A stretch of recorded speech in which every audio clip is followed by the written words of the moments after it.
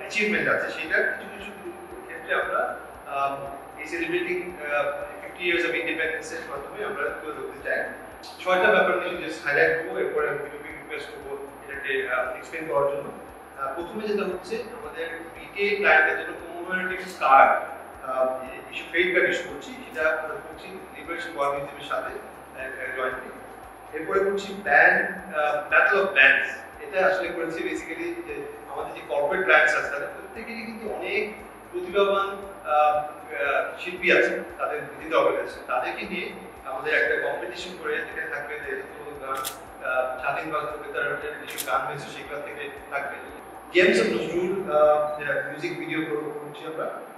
সেখানে সাদিয়া আপা আছেন আজকে, আমাদের মধ্যে উপস্থিত থাকেন বার্তা বিরাম মিউজিক ভিডিও অ্যান্ড ড্যান্স একসাথে করে আমরা জিনিসটা হচ্ছে independence work liberation work museum এই লিবারেশন ওয়ার্ক মিউজিয়াম অলরেডি একটা ইনিশিয়েটিভ নিয়েছেন সেখানে আমরা প্রায় আমাদের একশো কলিগ পার্টিসিপেট করবেন।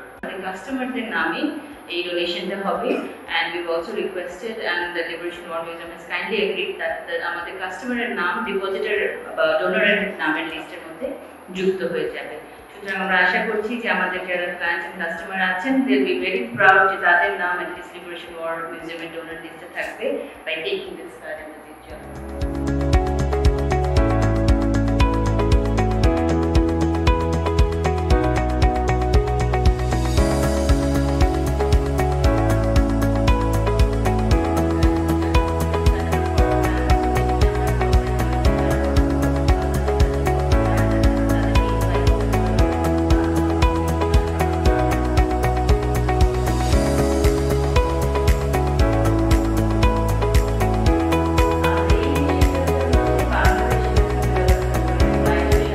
কিন্তু এর মধ্যেও স্ট্যান্ডার্ড চার্টার ব্যাংক যে ছয়টা প্রকল্পের কথা আমরা আজকে শুনলাম, এই ছয়টা প্রকল্প নিয়ে এগোনোটা একটা খুবই পজিটিভ দিক মনে করি এবং তাদের একটা প্রোগ্রেসিভ চিন্তা ভাবনারই একটা প্রতিফলন। এবং বাংলাদেশের অগ্রযাত্রার সাথে স্ট্যান্ডার্ড চার্টার ব্যাংকের এই সম্পৃক্ততাকে আমি সাধুবাদ জানাই। বিজয় নাসের আমাকে যে সহায়তাটা দিলেন মুহূর্ত কাল কিন্তু কাল বিলম্ব স্পন্টেনিটি কনস্ট্যান্ট সাপোর্টটা যে দিয়েছে তার জন্য আমি সত্যি অসম্ভব কৃতজ্ঞ আমাদের পুরো জেমস এই যে একটা মহোৎসব এই মহোৎসবে আমরা এই আমাদের বাংলাদেশ এবং দুর্গামগিরি কান্তার মধ্যস্থল এই দুটো সেন্ট্রাল জায়গায় অবস্থিত না। সেই জন্য একটা কারণ হতে পারে যে আমরা খুব বেশি মানুষ ওখানে ট্রাই করতে পারছি but we have created a artwork যদি দেখে থাকেন it's a it's an emerging tiger that's about to make a leap forward.